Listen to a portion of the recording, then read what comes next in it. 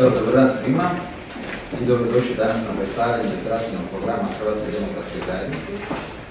Kad govorimo o zdravstvu, tada vjerujem da smo svi svjesni činjenice što znači zdravstveni sustav i da je uz obrazovni sustav jedno od najvećih dostignuća zapadne europske civilizacije je zapravo zdravstvo. I to zdravstvo koje je dostupno svim našim građanima i ono što treba svakako napomenuti i istaknuti da hrvatski zdravstveni sustav sukladno našim temeljima razvoja našeg društva i solidaran, takav mora i ostati i on mora i ostati tako da je dostupan svim našim građanima neovisno u mjestu u kojem oni živjeli i neovisno o financijskim sredstvima s kojima oni raspolagaju. Ono što će nas čekati je unapređenje kvalitete našeg zdravstvenog sustava i kad govorimo to, prošćemo kroz racionalizaciju bolničkog sustava, reformu bolničkog sustava, gdje ćemo stalno raditi na povećanju kvalitete usluga koje će dobivati pacijenti u našim bolnicama, kroz povećanje opremljenosti naših bolnica, pritom moram istaknuti da smo već od početka godine krenuli sa nabavkom najsuvremenije opreme, pa smo evo nabavili novih 16 CT-a, od kojih je većina već zapravo su dopremljeni u naše bolnice. Isto tako nastavljamo sa nabavkom jednog linearnog akceleratora za klinički bolnički centar Osijek, za liječenje malignih bolesnika i šest digitalnih mamografija. Ta kvalitetna oprema, koju ćemo i dalje nastaviti obavljati, će omogućiti da se pacijenti kvalitetno obrađuju i kvalitetno liječe i da će svoje potrebe moći ostvarivati u našim ustanovama. Isto tako, razvijat ćemo dalje funkcionalnu povezanost ustanova da bi se izbjeglo lutanje pacijenata unutar sustava. Dakle, mi moramo imati jasan smjer kad bolesnik dođe u jednu ustanovu, gdje dalje on nastavlja svoje liječenje, da male bolnice budu povezane sa većim bolnicama i da se na taj način osigura nesmetan kontinuitet pravilnog pružanja zdravstvene zaštite našim pacijentima. I za kraj, za bolnički sustav ću spomenuti da već radimo na ostvarenju i realizaciji projekta nacionalne dječje bolnice koja će biti smještena u Zagrebu gdje su naši već lokalitet gdje smo djelomično već i našli određena sredstva kako financirati izgradnje bolnice, dijelom iz fondova Europske unije i da se radi i u izradi je medicinski plan što će sadržavati ta buduća nacionalna dječja bolnica. Također ćemo insistirati na stalnom poboljšanju hitne službe. Od samog početka smo uveli novih 18 timova hitne medicinske službe u krajevima iz kojih se iseljavaju hrvatski građani, timove kojima sadržavaju liječnika, od Iloka, Drenovaca, Slunja, Benkovca i tako dalje. Dakle, brojnih sredina u Hrvatskoj koja su deprivirana područja, iz kojih ljudi, barem kad imaju kvalitetnu i dostupnu zdravstvenu skrb, na jedan način se zadržavaju živjeti na tim područjima. E, također, na segmentu hitne službe smo djelomično, i to isto također uradili, povećali dostupnost hitne na način da su liječnici iz obiteljske medicine sudjeluju u radu hitne kroz vikende i blagdane gdje se vrlo često zna stvarati gužva na hitnim bolničkim primjerima, da po 12 sati zapravo rade i to se negdje počelo već Sa kojim ciljem? To je glavni i osnovni cilj, sigurnost naših pacijenta. Oni ljudi koji su ozbiljno bolesni moraju napominjem još jedan moraju doći na pregled sat vremena, s tim da se dijagnoza treba postaviti u roku od 4 sata. Dakle, naš cilj je da dođu na pregled unutar sat vremena, a da prođe najviše 4 sata do postavljanja dijagnoze. Naravno, u onim slučajima kad je to moguće, znamo da u najvećem broju slučajeva to je moguće, ali postoji i u medicini ona stanja koja su komplicirana, tako da krajnja dijagnoza naravno nije uvijek odmah moguće. Na daljem poboljšanju hitne službe radit ćemo i radimo, tako da smo uveli helikoptersku službu koja se u trenutku nalazi na tri mjesta u Hrvatskoj, to je Split, to je otok Krk, odnosno Rijeka i to je Dubrovnik. Za sad je Dubrovnik u fazi u kojoj se radi da je to samo znači preko dijelom turističke sezone, ali to produžavamo ne samo za 10. nego i za 11. mjesec, a cilj je da to od dogodine bude također stalno mjesto gdje će se održavati hitna helikopterska služba. Na tome ne stajemo, nego i poboljšavamo mogućnost za upotrebu brodova za hitnu službu, dakle za otoke, za ljude koji se nalaze na gdje ipak nije tako njima dostupna medicinska skrb, da i njima se omogući da brže i kvalitetnije se obavi hitna usluga kod tih, naših ovaj, građana. U tijeku je izrada studije, studije održivosti i cijelokupni program će se financirati iz sredstava Europske unije koje nam stoje tu na raspolaganju. Ono što ćemo razvijeti dalje sa ciljem bolje dostupnosti liječniku je dalje razvoj obiteljske medicine.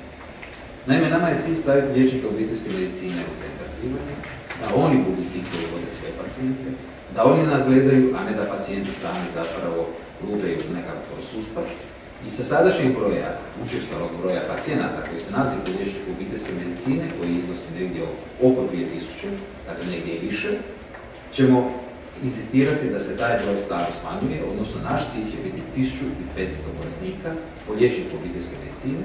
Na ovaj način zapravo mislimo vratiti i dostojanstvo liječnicima obiteljske medicine, osigurati njima dovoljno vrijeme za pregled svog pacijenta, da se oni prvenstveno bave medicinom, da ih rasteretimo administrativnog rada, na čemu su već počeli raditi, od pisanja razno raznih i brojnih zapravo uputnica, e, ispričnica ili sličnih administrativnih stvari, a da ostavimo dovoljno vremena da se oni posvete vođenju svojih vrstnika.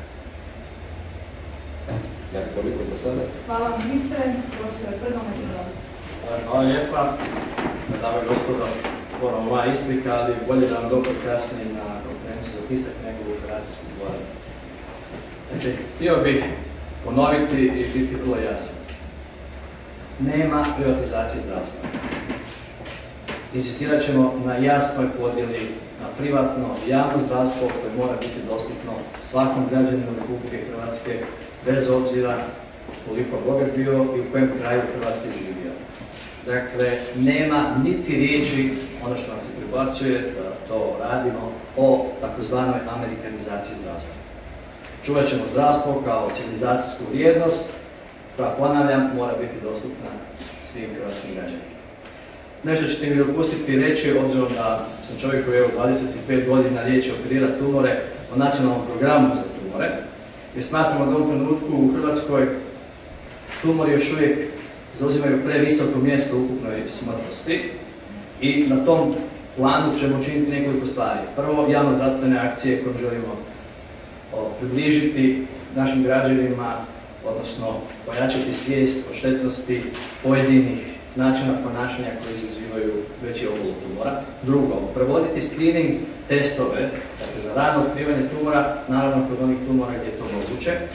Treće, insistirat ćemo na uvođenju takozvani guidelinesa, dakle, u koje će se vrlo jasno znati što, što će se raditi, u kojem vremenskom periodu će se pristupiti liječenju pojedinih tumora i gdje se neće, da sukladno tim smjernicama događati da pojedine bolnice različiti, imaju različiti pristup pojedinim pacijentima sa istim bolestima.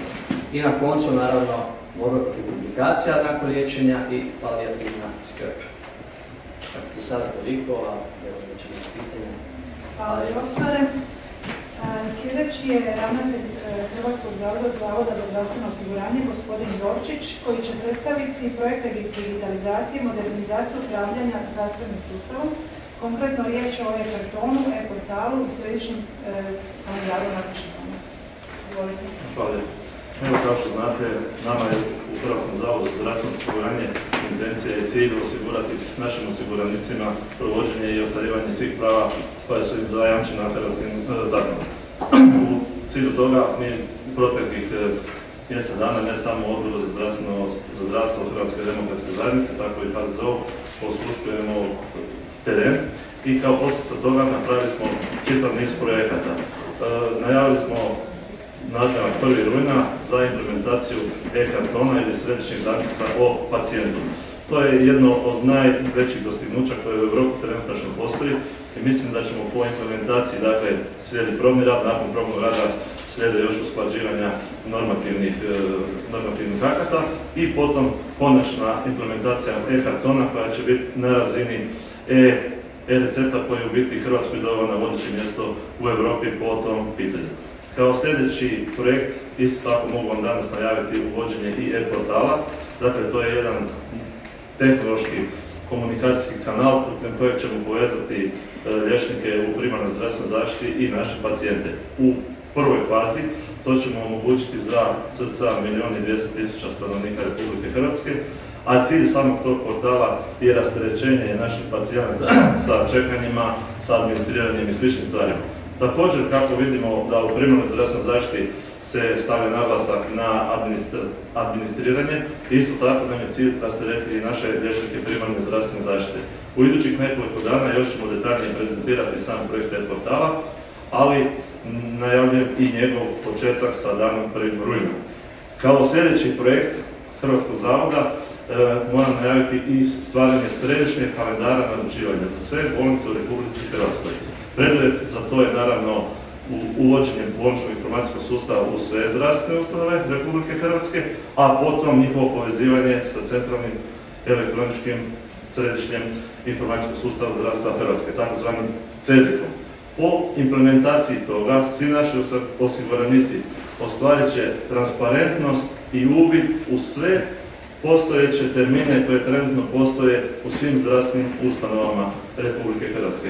Također će se temeljem toga onemoguć- onemogućiti dupliciranje narudžbi koje je tekako danas opterećivalo naš zdravstveni sustav, pa stalno govorimo o tome da postoji 800 tisuća nekakvih narudžbi i da hrvatski zdravstveni sustav ima listu čekanja od 800 tisuća. To naravno će naš središnji sustav i središnji kalen- kalendar itekako demantirati, ali isto tako mogu vam reći sada da ni to nije točna informacija, jer 800 tisuća imamo narudžbi za sve preglede koje se trenutačno trebaju napraviti u Republici Hrvatskoj, a stvarni broj je nekih 10 do 12% od tog broja. Dakle, u ovih 800 tisuća radi se o programiranim i predprogramiranim pregledima, dakle nikako ne možemo govoriti o takvoj opterećenosti ovog sustava.